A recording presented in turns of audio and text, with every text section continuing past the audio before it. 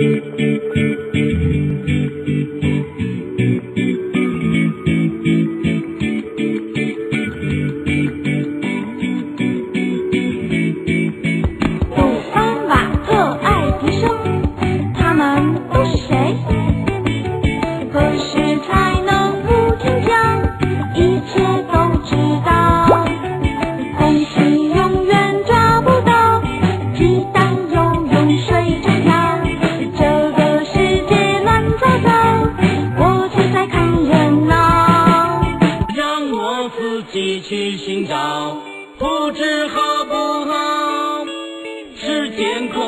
来回跑我要找到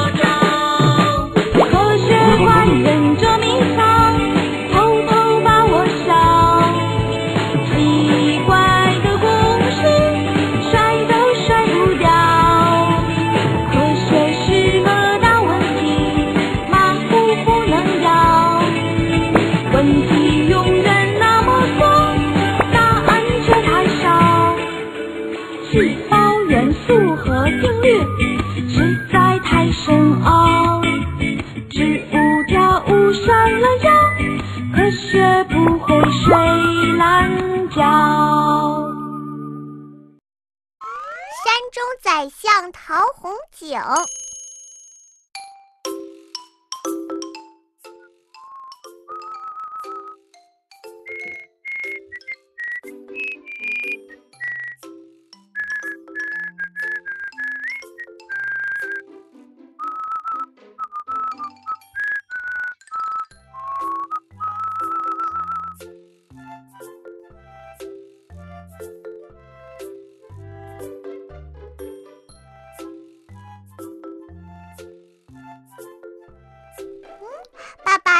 什么呀？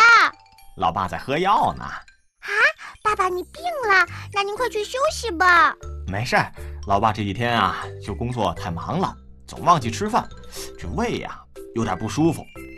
这种药啊，能调理胃肠，很管用的哟。爸爸，这味道闻着都难受，该多难喝呀！这你就不懂了。俗话说呀。良药苦口，利于病嘛。药那么苦，我才不爱吃呢。不过病了就要吃药，不吃药就好不了。哟，宝贝，这就对了。那以后生病了，可得乖乖吃药啊啊。呃，嗯，我考虑考虑。哎，宝贝，你知道为什么这药能治病吗？药当然能治病了，因为苦嘛。您刚才也说了，良药苦口利于病。爸爸，你这个问题也太简单了。哎，这苦啊，可不是药能治病的原因。药啊，是因为因为。爸爸，原来你也不知道啊。哎，这样，我给你介绍一位医学家，你呀，直接去问他吧。啊。哎呀，爸爸，我最不喜欢看医生了。宝贝啊，这医学家不一定就是医生。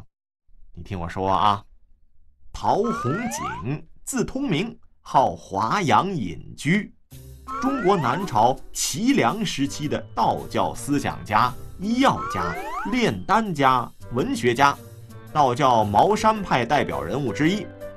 他，我说宝贝。你你怎么睡着了？你，爸爸，你讲的实在是太无聊了，像催眠曲一样。得得得，那你还是啊自己去看吧，去看看山中宰相陶弘景老先生。嗯，山中宰相，他是个宰相啊？那个国家在山上吗？难道他是可爱的小精灵？爸爸，你快告诉我，快告诉我！小精灵，宝贝，你还真有创意啊！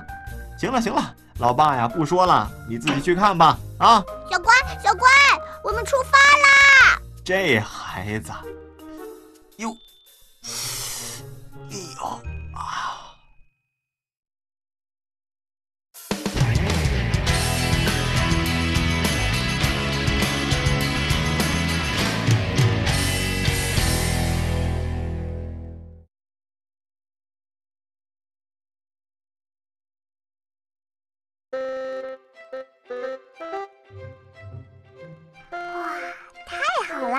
小乖，真的是在山里呀！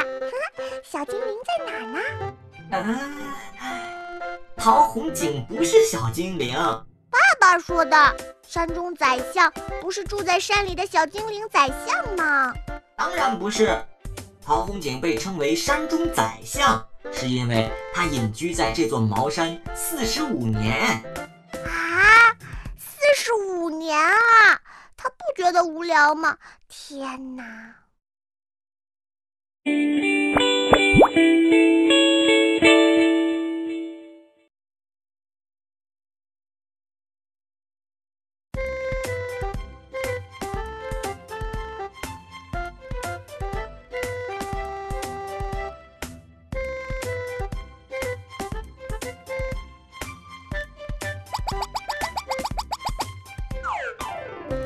远之，快过来烧柴火。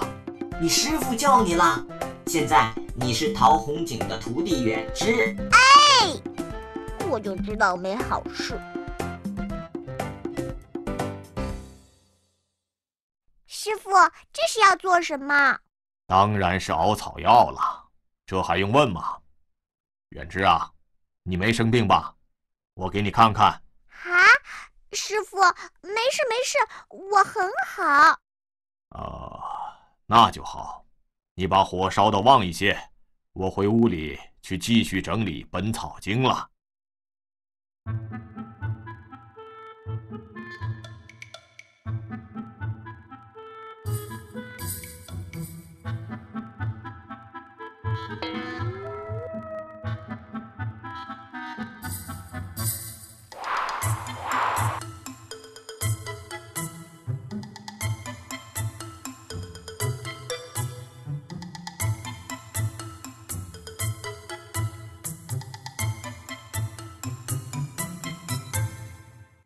小乖，陶红景去整理什么？是《神农本草经》这本书的作者以及完成的时代无法确定了，大约成书于公元前一世纪左右，就是秦汉时期。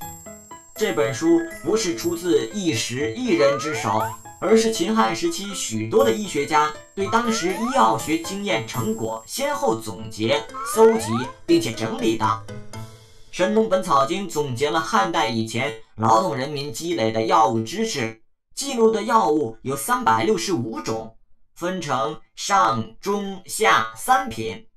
书中对每一味药的产地、性质、采集和主治的病症都做了详细的记载，而且对各种药物如何配伍以及简单的制剂都做了概述。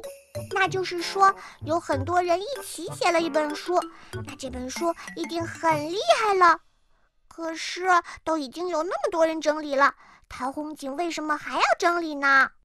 但是随着时间的不断深入，人们的药物知识逐渐丰富了起来，许多人都开始深入研究医药学，但是有些人却相互抄袭。到了南北朝时期，汉代的这本《神农本草经》。不仅把错误一直遗留下来，而且内容已经远远不能满足当时的需要了。远之，火太大了，都闻到糊味了。啊！你是不是又偷懒了？小乖，快帮把火弄灭了！我也闻到烧焦的味了。嗯，韩红景鼻子真尖。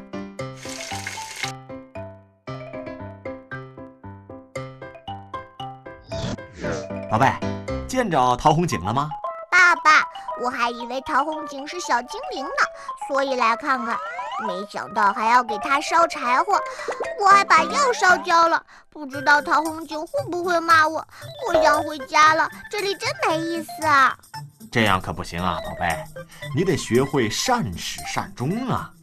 当然了，至于小精灵是不是存在，陶红景在山上待了那么多年，他一定会知道的。对吧？哎，对呀，我怎么没想到？山上一定有好玩的事情，我就再待一会儿吧，看看会不会遇到真正的小精灵。哎，啊，还挺执着。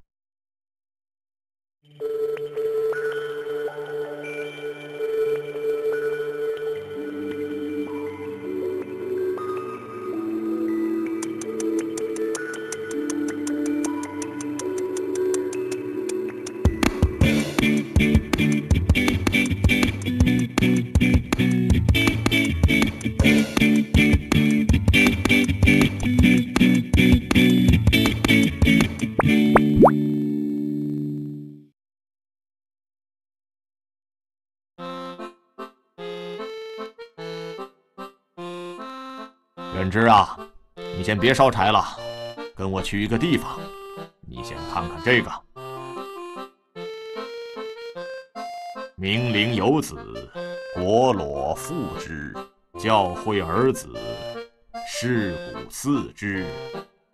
你有什么想法呀？啊，想法，呃，挺好的。师傅，这句话有什么问题吗？随我来吧。小怪，刚才那句话是什么意思啊？明灵有孩子，而果裸没有，于是把明灵的孩子带回自己的家，打扮成自己的样子。啊，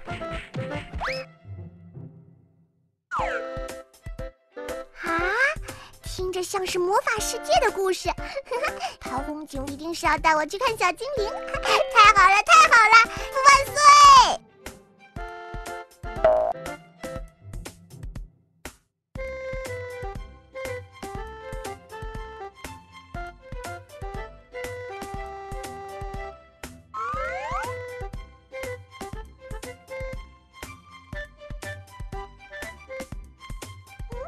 师傅，你在看什么呢？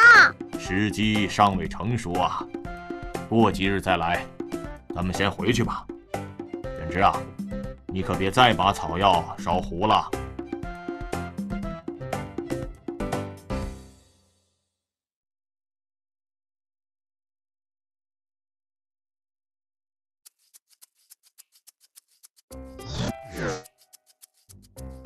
宝贝，这回见到小精灵了吗？爸爸，我都烧了好几天的柴火了。唉，陶红景什么时候才能带我去找小精灵呢？嗯。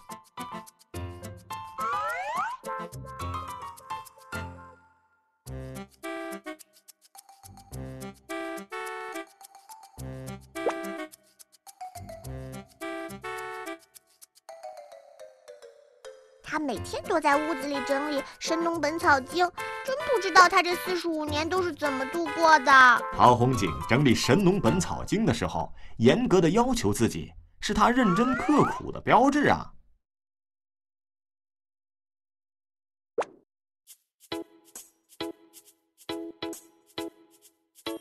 他在注释《本草经集注》的时候，用了红色和黑色字体，红字是引用前人的话，而黑字呢，则是自己写的。《本草经集注》对我们现代的医学起到的作用那是非常之大呀！只有像陶弘景这样的钻研态度，才使他成为了如此了不起的人呐！宝贝啊，你可得耐心一点啊，耐心点儿。远之啊，跟我来。好，来了！爸爸，师傅终于要带我去看小精灵了，我先不跟你说了。哎。小精灵要是存在，我还想看看。哎，算了算了，宝贝啊，迟早得长大的。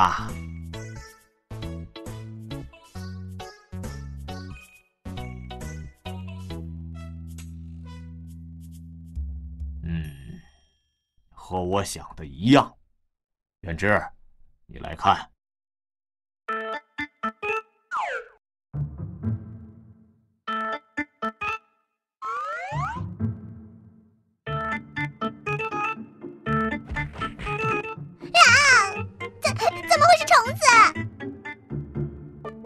之啊，你去哪儿啊？远之，这是怎么了？这是。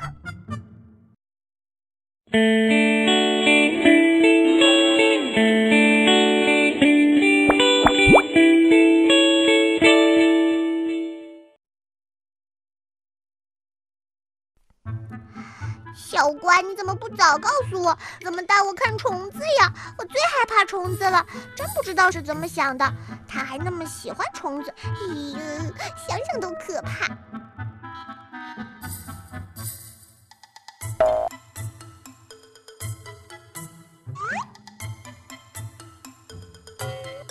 陶弘景不是喜欢虫子，而是他遇到了疑难就会去调查研究。这是他在几十年治学的过程中养成的习惯。《诗经》里面说，国裸是没有雌雄之分的，他们把明灵的幼虫带回自己的窝里，把它当成自己的孩子来繁殖后代，这是不正确的。在多次的观察中，陶弘景得出结论：果裸不但有雌的，而且有自己的后代。他们把明灵的幼虫当做自己的孩子的粮食。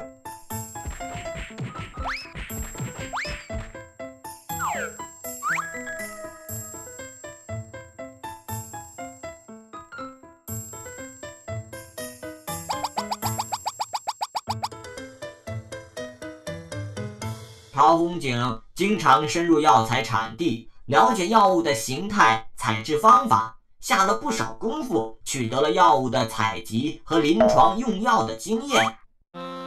正是以调查研究作为基础，陶弘景才能对《神农本草经》原有的三百六十五种药物做出极其详细的订正、补充和说明。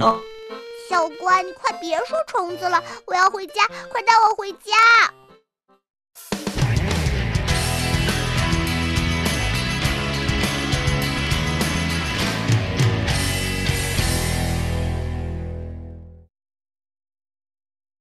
哎，回来了，宝贝。哟，怎么了？怎么一副不高兴的样子呀？哼，出什么事了，宝贝？啊，怎么回事啊？爸爸，这个世界上没有小精灵，对不对？那可不一定啊。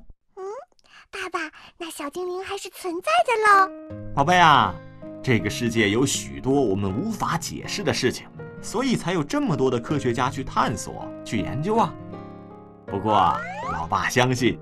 只要心中存在梦想，你就一定可以找到你想要的答案。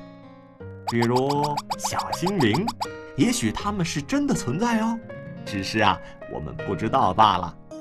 或许他们正躲在某个角落听我们说话呢。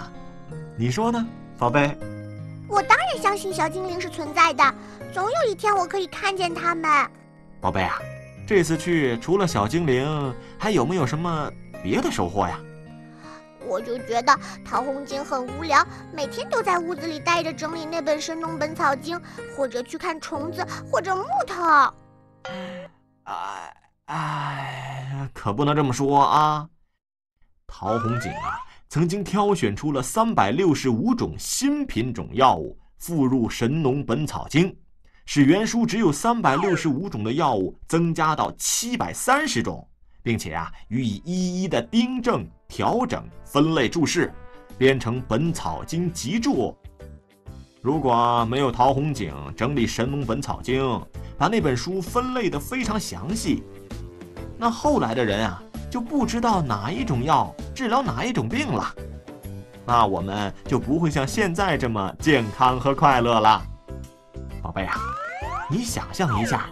这个世界如果充满了疾病却不能医治，那该有多可怕呀！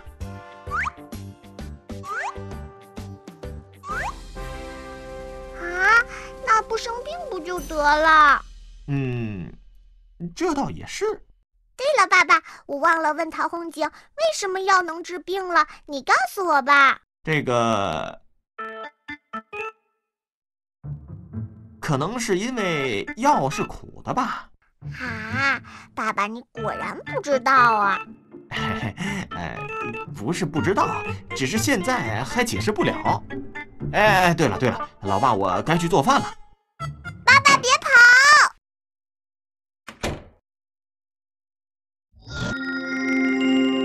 如此博学的我介绍科学家，还有什么事情比这更过瘾吗？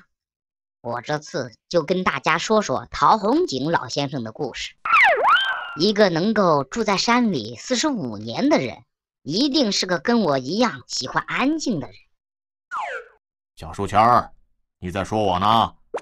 哟，老先生，您来的正是时候，我正在感叹呢，说您一定和我一样喜欢安静，不喜欢被打搅。要不然您在山上怎么一待就是四十五年呢？对不对？我在山上这么些年，光顾着和我那些药啊、书啊打交道了，没注意到安静，就是觉得挺舒服的。呃，小书签啊，你喜欢安静，我还真没看出来呀。你这不是挺能说的吗？啊，对了，我还有事情要和人商量，先走了。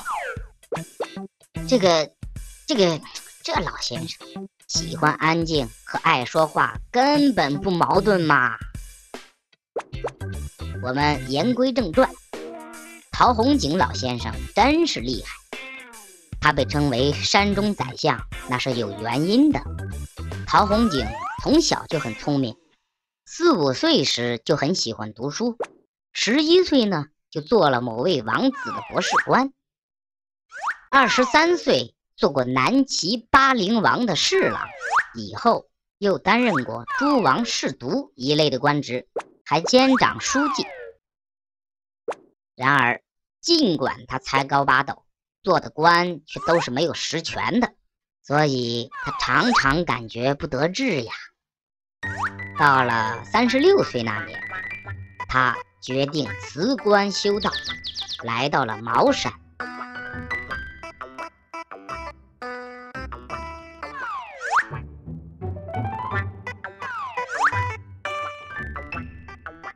梁武帝萧衍做皇帝之前呢，就和陶弘景是好朋友。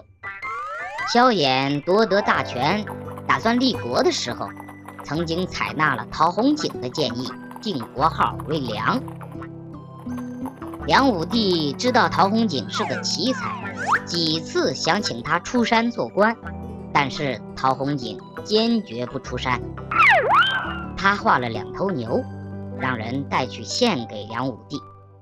画中一头牛散放在水田间，一头牛呢，则被加上了金龙，有人拿着鞭子在驱赶它。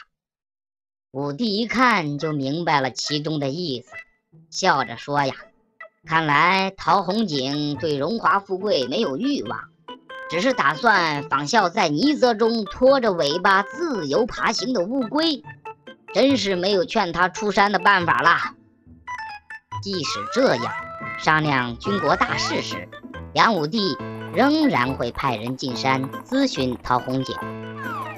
山中宰相这个称号呢，就是这样流传开的。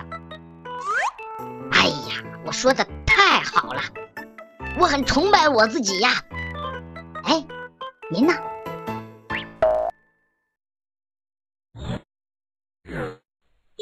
要用，那塞尔苏斯是干什么的？停停，塞尔苏斯是不是应该念塞尔苏斯？导演，这是音译，怎么念我觉得都无所谓。你塞尔苏斯、塞尔苏斯都差不多。再说了，才四个字。也是，那行，接着来。医生要用，那塞尔苏斯是干什么的？宝贝，别闷着了，快给塞尔苏斯送去呀！停停，小关，你怎么又成塞尔苏斯了？导演，其实真的无所谓，只是各自的念法不同而已嘛。嗯，行吧。